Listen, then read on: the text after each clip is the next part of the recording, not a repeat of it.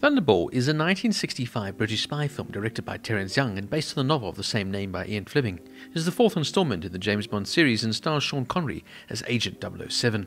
The film follows Bond as he investigates the hijacking of two nuclear warheads by the villainous organization Spectre. Bond teams up with a beautiful woman named Domino, played by Claudine Auger, who is being held captive by Spectre. The film features some impressive underwater action sequences and a memorable villain in the form of Emilio Largo, played here by Adolfo Celi. The gadgets and vehicles used by Bond are also a highlight, particularly the jetpack.